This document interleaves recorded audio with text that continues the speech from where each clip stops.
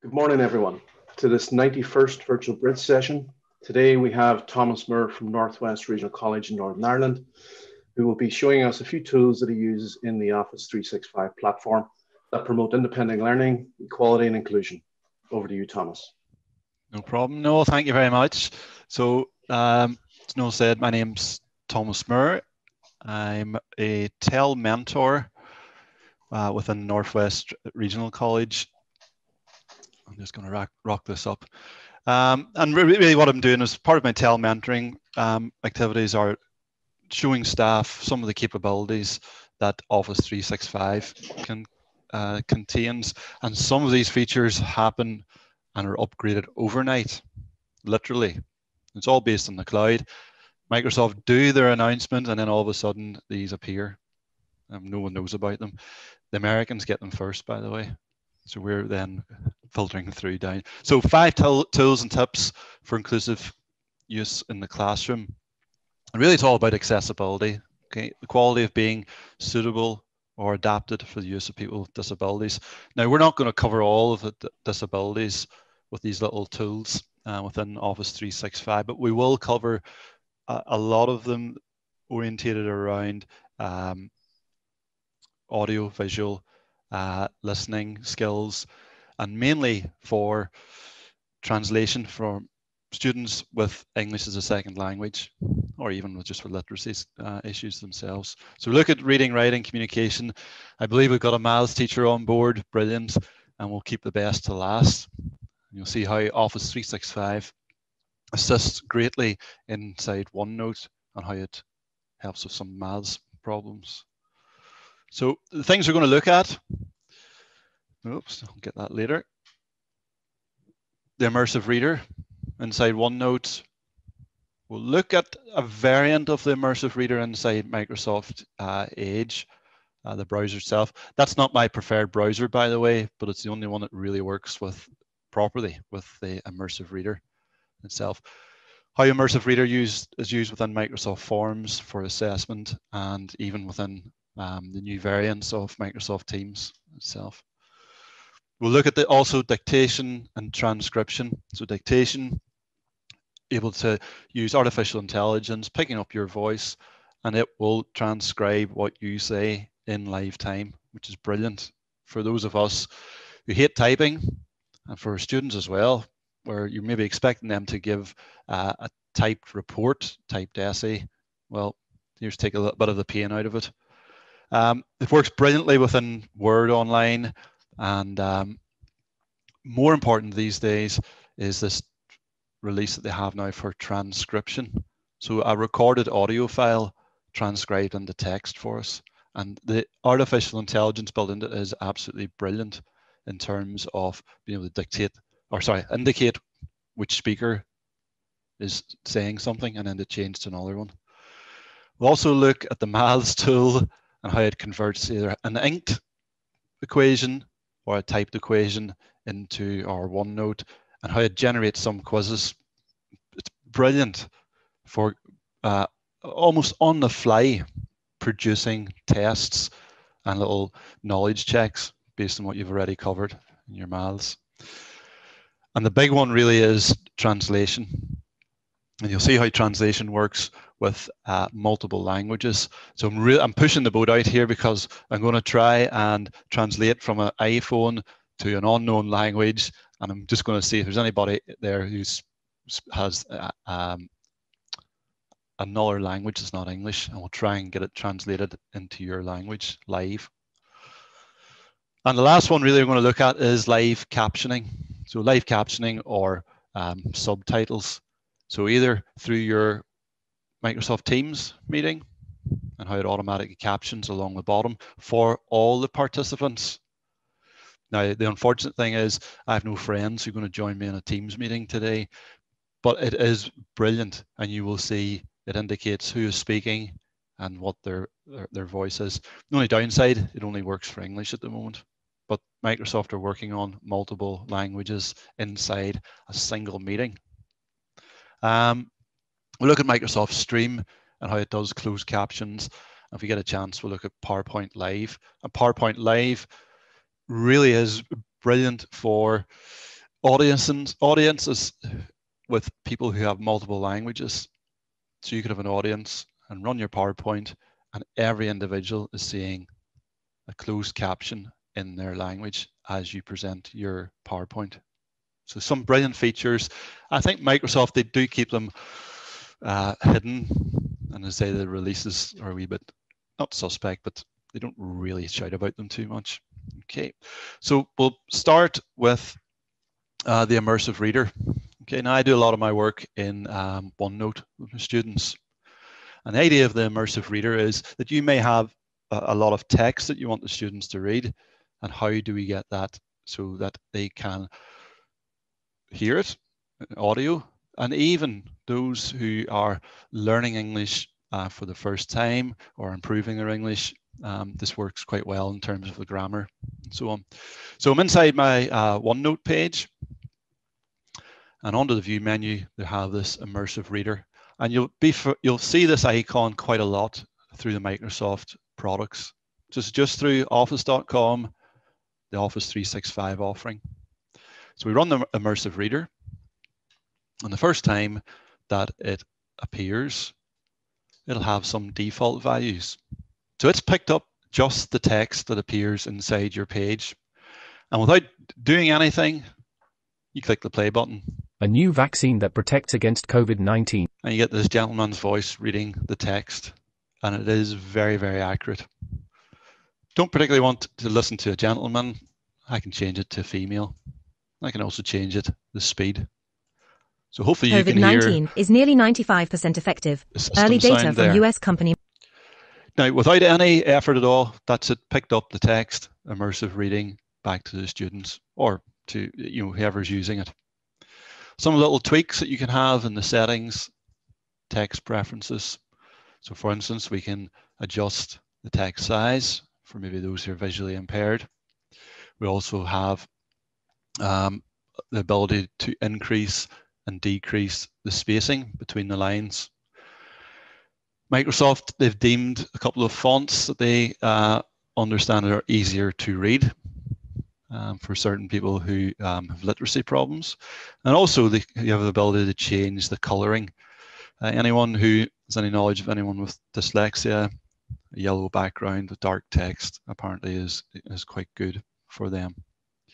So again, we can change those depending, and the student who's using it have their own ability to change the settings themselves. We also have some grammar options. What we can do is show the words broken down by syllabus, by syllabus, syllables. So it's an on-off, and you can see there from US come pan a and it breaks the words down that it deems can be broken down. And again, when we play it, Moderna shows. The results come hot on the words. heels. And it's brilliant for those who are learning English or, or English as their second language come through. Inside the grammar options, we can also show all the nouns, all the verbs, and we can put a label on and label off so students can see anything that's got an N on it is a noun, anything that's got a V just above it is a verb, and even change the color if you want. Okay, so everything that's highlighted in blue is a noun, everything that's highlighted in red is a verb. Brilliant for those who uh, are you know, teaching literacy for kids as well. The third option there is our reading preferences. When we can have a line focus, um, I'll just move this out of the way. So we can focus on the line that's currently been read. The heels of similar results from Pfizer. We can expand that slightly as well. So then the next three lines that are being read out. Nice little feature is a Pictionary dictionary. Pictionary for those who've been, played the game in the past. And the idea of that is that when you click on certain words, now it's not for every word, it has a link to a Pictionary, a picture dictionary. So uh, vaccines, well, what's a vaccine? Oh, now when I see the graphic, I understand what it is. You also have a little speaker there Vaccines. where the word can be read out to you. now, if that's not good enough, this takes it to the next level. I can now get my text translated into, oh, haven't even counted the number of languages. So anyone do we shout out there for a language? Maybe their, it's their second language, maybe it's their first language. I had a Bulgarian native speaker last week, a little presentation, and she said the translation was fantastic. So what Polish I can do would be good. Polish, yeah, Yeah, please. brilliant. LMN P Polish. There we go. So by default, it translates by word. So by word, I can click on a word. Here's the English pronunciation, Pewności. and there's your Polish pronunciation. I can also translate effectively the whole document in the Polish. And here's where the live Wyniki są gorące na piętach podobnych wyników z Pfizer. I dodać Okay, now I'll play it all. But what did you think of the Polish translation if you heard it there? I'll try that again. do rosnącej pewności, że szczepionki mogą pomóc zakończyć pandemię. Obie firmy stosują wysoce innowacyjne i eksperymentalne podejście do projektowania szczepionek. Okay. And I can flick back then to the original English translation. Now it is based on the cloud, so you see a little bit of a delay there when it's doing the, the translations between the two. Again, it depends on how busy the system is. So our immersive reader, um, going through this fairly quickly here, allows us to pick up text-based content. So go back, it looks at the content of your page, the original source, and all the text-based content is um, able to be translated, put into Immersive Reader. That also works for Word. It also works for our Microsoft Forms. So again, when I move the mouse inside a form, there's a little Immersive Reader. So it can read out the question. It picks up your previous settings. So if I have it in Polish and a color and so on, it's the, all the settings are there. Italian food quiz, TEL demo. Answer all the questions. Results will appear at the end when you click submit. Okay, so to get the question read out to them, and then they can then answer the questions appropriately. So if I like Italian food, I'll read it. Here's one I'm maybe not sure what this question is. Immersive reader picks it up. I click the play, 3. What type of pasta is this? And it- 10 points. and it reads out then Penne. the Spaghetti. options. Lasagna. Cannelloni. End of question. Close the reader to input your answer dot. Okay, and then I can go back again. Um, inside our browser, it's a slightly different effect. Okay, now I'm using Chrome because I find Chrome works best with our Microsoft products, but Microsoft Edge has inside it a inbuilt read aloud.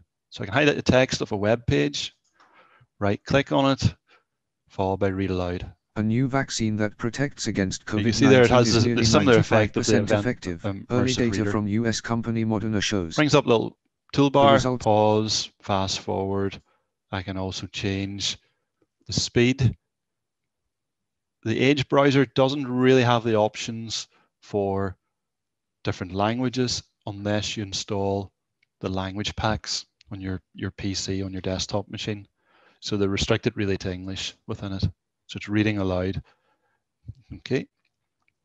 Um, Microsoft Teams. So we're all, not all, uh, Microsoft based uh, colleges are all using Teams for their interactions. And again, I'll just find a little comment here. And Noel will appreciate some of these little comments. So here's here's a comment from Jared, one of our uh, our network manager. I'm not again English isn't my first language. Let's see what Jared has to say. Three dots, immersive reader, and it reads the comment, the conversation. Nicole Gerard at Thursday, November 19th. So you can see there, the immersive reader, it's built into a lot of the 365 products themselves. The next tool we're going to look at is our dictation and transcription. Okay, so um, I'll just see if I can move this out of the way so we can see what's happening. Okay, so text document, here we are, blank text doc document inside uh, Word. And the first thing really that we're interested in is dictation. So under our home button, this is Word Online. It also has Word, the desktop version of it. You have a little dictate microphone. So click on it once and effectively everything that you say is now being dictated into the Word document. Click on the microphone and it stops. Now, obviously, my dodgy northwest of Ireland accent, it can't pick up everything. And you then have the option then to edit as we go along. So we click dictate and it will very, very quickly translate your language into text. Okay, brilliant. Take it a step further. And under that, we have a transcription. So we can transcribe content that's already been recorded. So click on transcribe. And what we can do is either start recording now, or we can upload an audio file that has already been recorded, maybe through a dictaphone or through one of the Microsoft recording uh, applications. So if I do an upload audio, I have on my desktop, little short audio clip. It uploads it onto the cloud. Now this is only eight or 10 seconds long. It does take a little while to process it. So just be patient if it's a 30 minute uh, professional discussion and so on. But in the background, it's doing the transcription for us. I'm going to talk for the next 5%. 5% is always the slowest part. And there is my audio file. It's tran it's done the transcription, speaker one. And I click play. I can hear my voice. Scotland are asked if they would consider strike action over COVID school. Okay. And I can then edit if it hasn't picked up the transcription correctly. And I just simply click the plus to add it into my document. Now, I'll, I'll not go through the process of the very uh, longer with two speakers, but here it is one I prepared earlier. Says he. Yeah.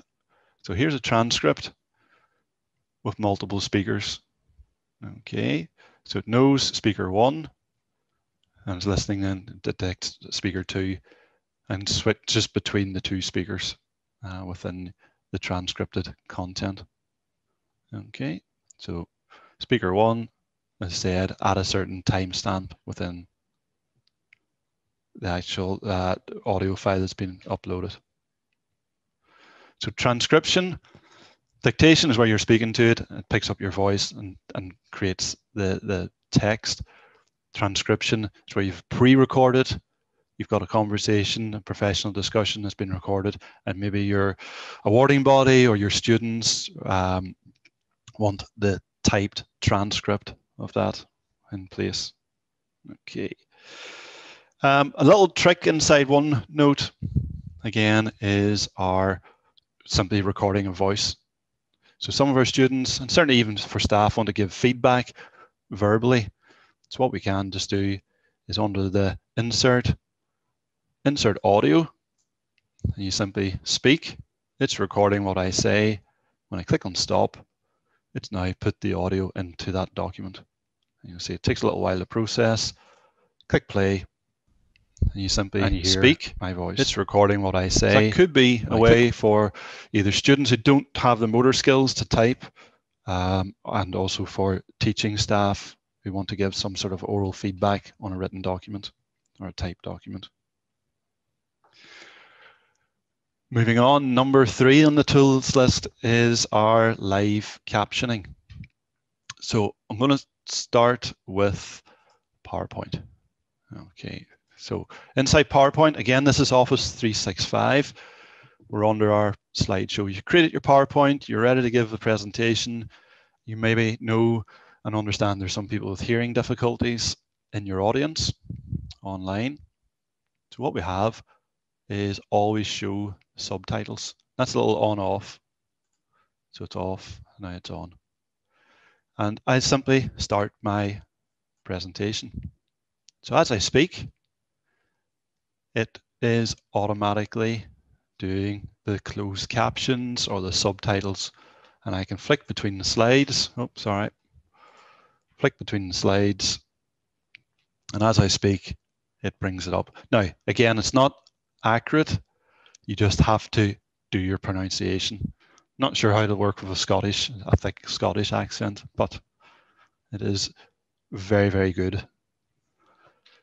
Take this one step further, and this is closed captions on steroids.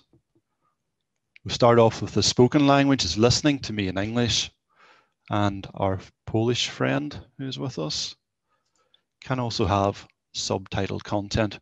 Now in PowerPoint, it's only one spoken language that it's listening to, and then one language. So from the beginning, it's now producing the subtitles in Polish. So I'm speaking in English, it's recognizing that, translating it, and relatively quickly, it's able to translate back into Polish. So if you have an audience, you know that there's a Polish speaker, here's a way of doing it. Or maybe your whole audience is Polish, but you're still speaking in English for them. Um, our live captions also happen inside Teams. So I'm inside a team. I'm just going to find one that's not going to interrupt anyone, a little demo team. And what I do is start a meeting. And when the meeting starts, as the presenter, yeah, as the presenter, I can put on live captions. And as I speak within the meeting, the live captions will come up. And I say I have no friends who want to join me in this meeting, but as they speak, I can see their icon, their name, and the, and the text of their spoken voice. Unfortunately, at this stage, it only happens in English, but I'm assured by Microsoft reading some of the forums they're going to do this in multiple languages as well.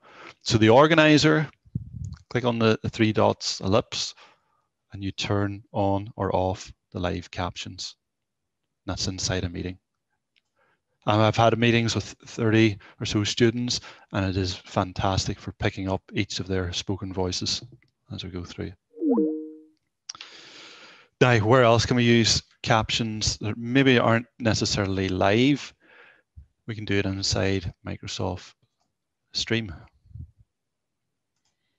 So Stream really is, and I uh, like to tell people that this is a private YouTube channel within your organization. So all the videos that are mounted on side uh, are, can only be visible within our organization. So here's one I prepared earlier, as they say on TV. And what it does when I upload a video, it will do the transcription and the transcript is then used for the closed captions. So put your closed captions on or off. When you click on play, not need to install anything else onto your machine. Captions on. Um, there are other tools inside Windows 10 that you do need to install. You can see there, we don't either you play a full screen, you just see the, the system to install them. But these these captions. are all inclusive inside or I can have Office 365 and go through it's the, just your the transcript as well. to it. Brilliant if you're maybe learning English. A wee statement there just about uh, access. Now, transcription isn't 100% as we've seen before, and the owner of the video can edit the transcripts uh, if need be. So live captions inside Teams in a meeting, live, under your PowerPoint, live as you speak. Recorded, I suppose, when we're using Stream. The fourth tool, and we're getting towards the mouths here, uh, is translation. So inside translation, I'll just find my Word document. Where am I? Yeah. Um, I'll use this one at the top. Okay, so here's a little piece of text just taken off yeah, a website that we've used. I'm inside Word. I'm inside the Review tab, and you'll see this little icon. And they use Microsoft use this through a lot of their um, products. Little A, I think it's a Chinese, Japanese character for translate. So I can highlight a section of text, click on the translate, and what it does, it automatically detects the source language. So it's auto detected as English, and I can then choose which language to translate it into. So our good friend Polish speaker, and it will do the translation for us. Now, I'm hoping it's not going to play up.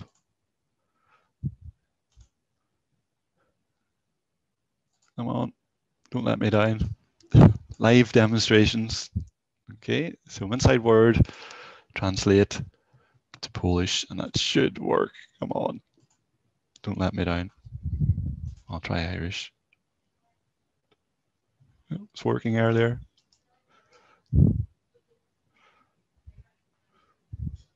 Yeah. So highlight my text, review, translate, there we go. So again, you don't have to install any of these language packs because it's cloud-based.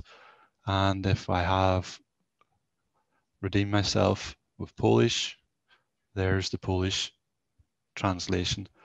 I can click on insert and it overrides what was originally there.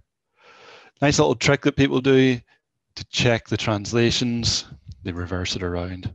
So Polish to English and see if we can get it back again to what it was. Okay. Minute warning, Thomas. Oh, sorry. Oh, five minute warning. Yeah. So whatever. Now that that works brilliantly for a lot of the languages within it. Now we don't just need to do a section; we can translate the whole document itself. Okay, so we'll do it into Croatian, do a translation, and it creates a new Word document for us. Now, where our translation goes to another level is with an app. So Microsoft have a translator app. So you install this on your desktop or get your student to install it. And on my phone, I have then the app also installed and I'm going to initiate a conversation. So on, on my phone, it's asked me for my name, my spoken language, which is English. And what it does, it creates QR code and a code, K-L-Y-I-P. And the student joins, or the, the audience join with the code, give themselves a name. I'm a student, a Spanish student, and I can select the language that I want. I click on enter and we're now in a two-way conversation. So on my phone, I hold down the microphone button. Hi, my name is Thomas. And you'll see within seconds, there's the Spanish translation. And it also gives me the original English text. Brilliant little piece of um, artificial intelligence. The, the student can also have a two-way, so they hold down their microphone it translates it, and then on my phone, I'm now seeing the English translation. Obviously, I wasn't speaking in Spanish on this one. So translation is a two-way. You need the app to be able to pick up. You could do it from two desktop machines, but it's brilliant through an app itself. Um, maths. Now you're putting me under pressure here in terms of time, but it's worth having a quick look, especially we've got a maths teacher on board. And I, I like to use this within um, OneNote. Within OneNote, we have this little maths solver on and off. Now it does take up a lot of processing power and that's why you turn it on and it allows it to be active for 30 minutes. Because what it's doing, it's, it's, it's, it's looking at what's happening in your page and doing some processing and it'll do solving steps. If there's a graph involved, it allows us to do graphing. So here's a little equation, BODMAS related. I then, I'll close that so you can see the full screen. Click on maths. It picks up, that's a proper equation. Well, what do you want to do with it? Well, let's see what the outcome is. 33. So how did you derive 33 from that equation? Show the steps. Add the 7 and 4. And then you multiply by the 3. Good old BODMAS inside the brackets. Let's take it a step further. Let's get a quiz for our kids then. If they understand that equation, let's test them. Generate a quiz. Many questions do you want? Oh, sign in first. How many questions? Let's have them three questions. And it creates Microsoft form quiz. I'll talk about these little squiggles later on. Based on our original equation. So it's got brackets, there's a little easy question, they boost their confidence, and they submit that. Now I'll remove it for this part. A big thing for um, Surface Pro users and Microsoft is their inking capabilities. So inking allows us to draw on the screen. And what you can do inside the draw feature, you, you can scribble your little equation, but there's a little marquee where you can select. So if I select the scribbled notation, I'll go into maths. It picks it up, one half plus one quarter equals. I can fix it if there's any little scribbly errors in there. What will I do? Evaluate. Three quarters. How did you get to 0.75? Show me the steps. Here's the steps. Back to where we started. Immersive Reader helps us out as well within that. Now, especially I knew there was going to be a maths teacher. Let's get a little bit more complex. Highlight our inked equation, close the previous one down. I click on the math solver. It understands it. Solve for x, y. x is a minus 2.